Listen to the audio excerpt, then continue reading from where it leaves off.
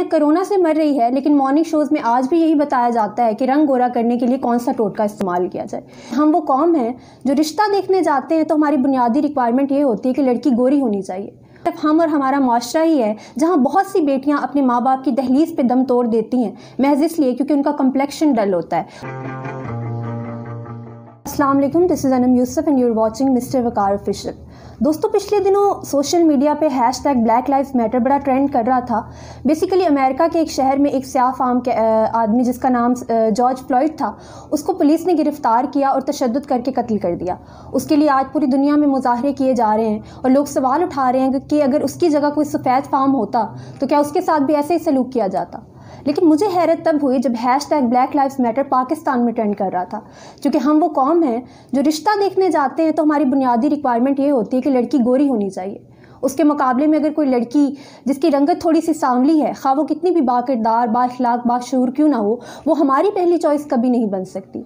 यही वजह है कि हमारे माशरे में या हमारी पाकिस्तानी सोसाइटी में या एशिया की बात की जाए, यहाँ फेयरनेस प्रोडक्ट्स यूज़ करने का ट्रेंड बहुत ज़्यादा है। आप अपनी एडवर्टीज़मेंट्स उठा के देख लें more than sixty percent advertisements का सब्जेक्ट फेयरनेस प्रोडक्ट होते हैं।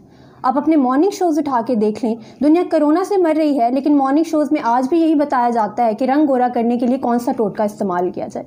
व्यूवर्स हम इतने मुनाफिक हैं कि एक तरफ़ तो हम मज़हब की बातें करते हैं, बिलाल हबशी को हम मौजन रसूल कहते हैं और उनकी मिसालें देते हैं, उनके कसीदे पढ़ते हैं और दूसरी तरफ़ हम और हमारा माशरा ही है, जहाँ बहुत सी बेटियाँ अपने माँ बाप की दहलीज पर दम तोड़ देती हैं, महज इसलिए क्योंकि उनका कम्प्लेक्शन डल होता है और वो हमारे माशरे का जो सो कॉल्ड खूबसूरती का मैार है, उस पर पूरी नहीं उतरती। ये मुनाफ़त ही तो है, जबकि अल्लाह ताला फरमाते हैं कि बेशक हमने इंसान को बेहतरीन तख्लीक किया है। अगर कोई इंसान गोरा है तो इसमें उसका क्या कमाल है? अगर कोई सामला है तो इसमें उसका क्या गुनाह है? ये बनाने वाला तो अल्लाह है। अल्लाह ने किस मान से इंसान को तख्लीक किया कि मैं इस इंसान को दुनिया में अपना खलीफा बनाऊँगा? और ये इंसान इतना कम ज़र्फ है कि अल्लाह ताला की ही तख्लीक में से मीन मेख निकालने से बाज नहीं आता। उसके बनाए हुए लोगों को तकलीफ़ पहुंचाता है, ये कह कर कि तुम्हारा कम्प्लेक्शन डार्क है। और इसी सिनेरियो में इसी वजह से यूनिलीवर ने अपने ब्रांड फेयर एंड लवली का नाम चेंज करने का ऐलान किया है। क्योंकि उसको इतना बैक बैकलैश और क्रिटिसिज्म फेस करना पड़ा इस सारे सिनेरियो में। उसका जो नाम है, वो ही एक बहुत बड़ा स्टीरियो टाइप प्रमोट करता है फेयर एंड लवली यानी if you want to be lovely you have to be fair ये एक नेगेटिव स्टीरियो टाइप की प्रमोशन है और आप सोचें कि इसका हमारी सोसाइटी पे क्या असर होगा। तो viewers it's high time to think कि हम अपनी सोच को बदलें, हम अपने देखने के नज़रिए को बदलें। लोगों को हर्ट ना करें, सिर्फ़ इस वजह से कि उनका कॉम्प्लेक्शन डार्क है।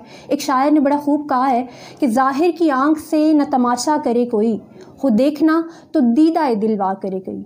आखिर में मैं खुद हजतुलविदा के चंद फ़िक्रे दोहराना चाहूँगी।